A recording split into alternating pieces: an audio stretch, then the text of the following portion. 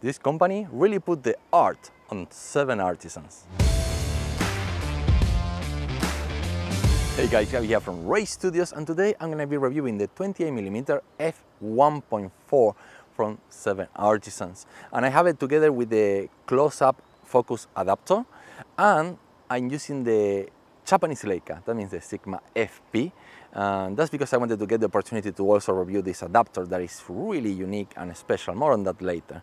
So I'm here with my friend Alex, uh, he's going to be help me modeling uh, as I need to take some pictures for the, the new bike that I'm going to be reviewing very soon, the Surpanda UL 100 Plus limited edition.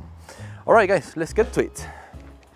Okay, you can see we don't have too much room between me and my subject, and that's why a 28 millimeter focal lens becomes very useful. It is wide enough that I can get the whole bike and the subject, at least most of it, from this distance, while at the same time uh, I can emphasize on the subject by being uh, pretty uh, fast aperture, it's a f1.4, so I can still knock the background out a little bit.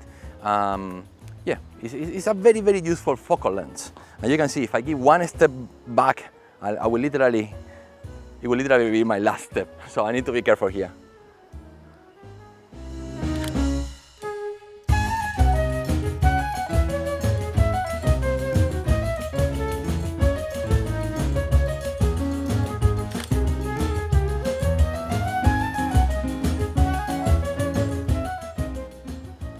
Alright, so I'm shooting with my subject between me and the main source of light, so the sun is over there. It's kind of getting cloudy, so not much sun, but the idea here is to see how much chromatic aberration. I'm shooting wide open at f1.4. Most of the time I will shoot at f1.4 to maybe f2.8, but right now it's f1.4. Um, we can see that there is a lot of detail from the trees, the bike, and the, and the model, so we can see how much chromatic aberration. And I can tell you right now, just touching from the screen, that there is a little bit of purple fringing, especially on the head of the model and a little bit around the trees. But generally speaking, not bad, really not bad.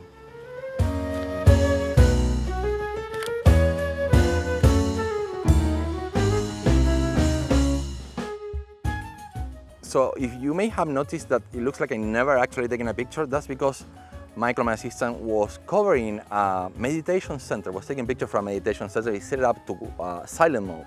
There's absolutely no noise. I mean, literally nothing. Uh, that's pretty common with uh, most mirrorless cameras, but this particular mirrorless camera, it doesn't have a shutter. It's all electronic. So even if I set it to noise, like now, that's an electronic noise. So yeah, super quiet, and the focus is fully manual. So yeah, quiet and discreet. And this is a lens that goes with that. It's small, discreet, and looks really beautiful. Check this out we were at a forest and the mosquitoes were literally having a feast on us. I mean, I have mosquito bites all over my legs and arm. And especially Michael. Michael is very sensitive to mosquito bites. So we moved to a new location. Here is a lot more crowded, but I like the light, probably because it's getting very cloudy and the light, the light is very even. Um, we are near a temple, so it's kind of nice. Uh, you can see Alex here is already waiting for me, posing. Uh, he's right in front of the e-bike Buddha, the e-bike god. This protects everyone from the all the e-bikers get protected from that guy. That kind of look like you, uh, Alex. Same beard, same hair. Yeah. Okay, let me get quickly a picture.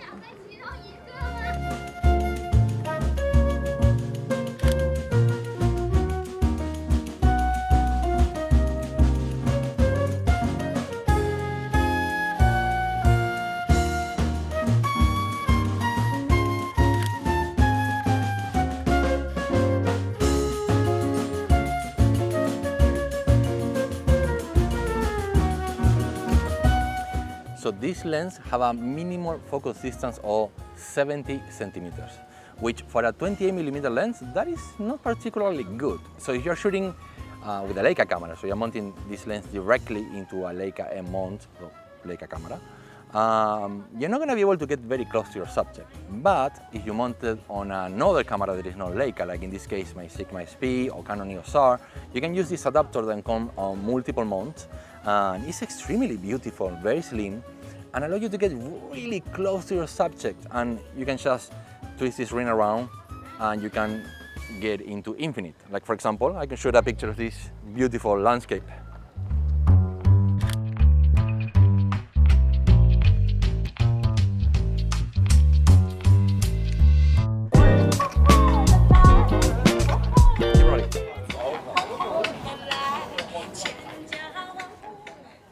This is what you get here in China.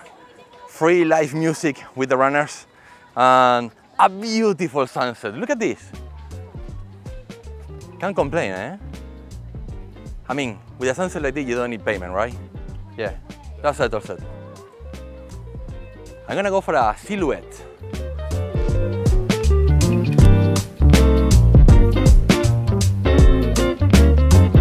And that's about it because I ran out of batteries on this one. So switching out the battery and be right back. Later that same evening.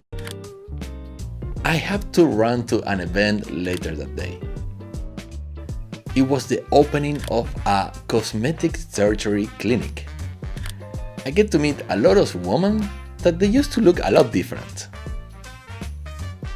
And this gave me a great opportunity to test this camera and this lens in low light.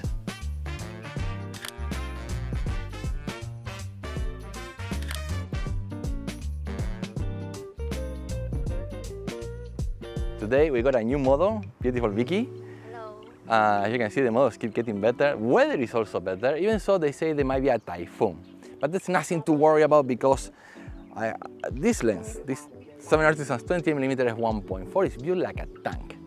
I don't think it's weatherproof, but yeah, yeah, probably won't survive a typhoon. Anyways, I'm gonna take some nice pictures of Vicky here, and what I'm gonna try out now is shooting at, at a relatively high aperture, something like f8, and then yet again at f1.4. So we kind of get the whole road behind her, and also gonna knock the road behind her and see how which one I like the most. Let's try that out.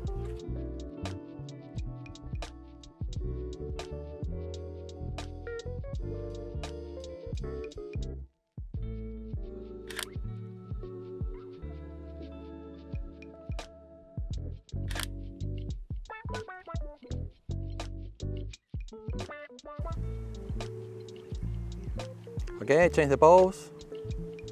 Okay, maybe put two hands on the handle. There you go.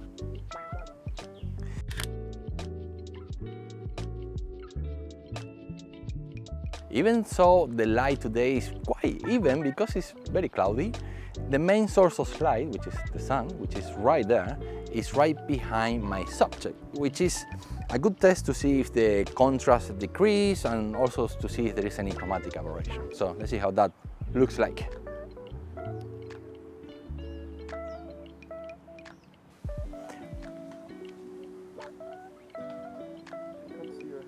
Doesn't matter, just acting. Okay, one, two, three, go.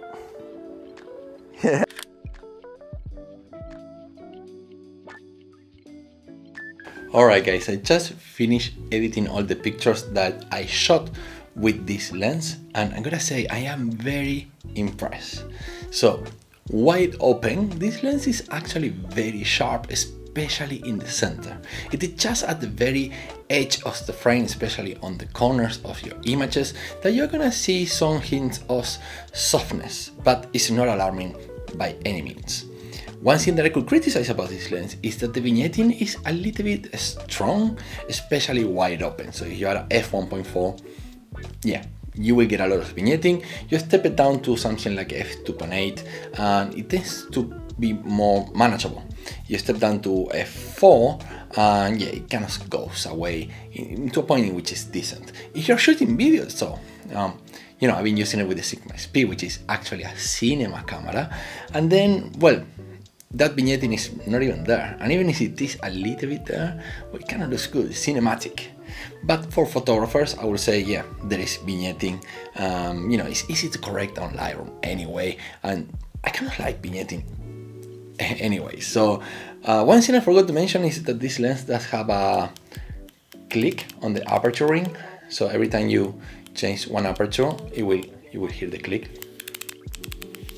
So this lens is more oriented to photographers, even so I'm more of a filmmaker lately. I've been doing a lot of video work, but I think for video it's a phenomenal lens. Um, just that clicks on the aperture, but most people will buy this lens to use it with a Leica camera, and, and most Leica cameras are, you know, towards photographers, not so much toward filmmakers like me. I like to use it with my Sigma FP. I also have the adapter to use it with the Canon EOS R6. So there are plenty of adapters that you can, you know, use this lens on different cameras. Um, like I said before, this is built like a tank. It's, it's kind of heavy for such a little lens. Um, the image is actually pretty good. The bokeh is so nice. The bokeh rendition is very smooth, creamy goodness in your bokeh. And it does have character, it's not just good. So optically speaking, it's pretty good, but at the same time have a bit of character that it makes it look like some old vintage lens, but without being distracting in a way. So yeah, this comes highly recommended. In case you want to purchase this lens, I will put links in the description down below. If you buy from my affiliate links, you are gonna be helping this channel grow. So please do buy from my affiliates. And if you have somehow enjoyed this video, um, you find it somehow informational, please subscribe to my channel if you haven't yet. I'm Gabby from Rage Studios. I'll catch you up on the next video.